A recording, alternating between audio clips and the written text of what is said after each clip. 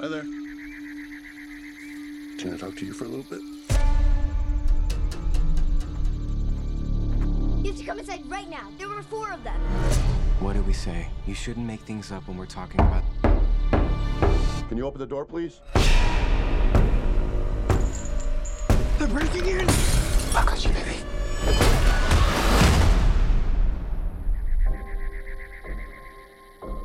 We're not here to hurt you, but you have to stay here in the cabin with us. Families throughout history have been chosen to make this decision. Your family must choose to willingly sacrifice one of the three of you to prevent the apocalypse. We're not sacrificing anyone. For every no you give us, hundreds of thousands of people are going to die.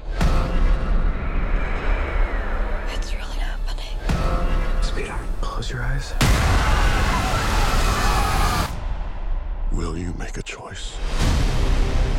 Somehow trust us. We're normal people just like you. It doesn't matter. None of us believe you. We will never choose anyone.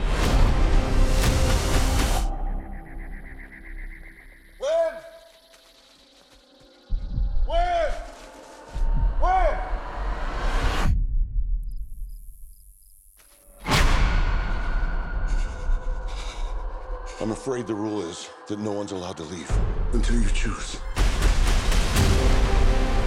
Do you really think it's all just a coincidence? I have to believe that.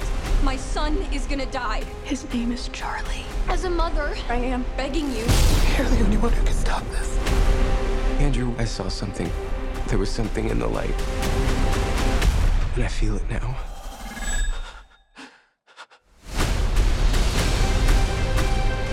I'm taking my family and I'm leaving. If you fail to choose, the world will perish. We've been given the chance to decide the fate of everyone. Time's running out on the world. I'm scared. There is nothing more flawed and perfect in this world than our family. Please make a choice. Always together. Always together. I will ask for the last time. Will you make a choice?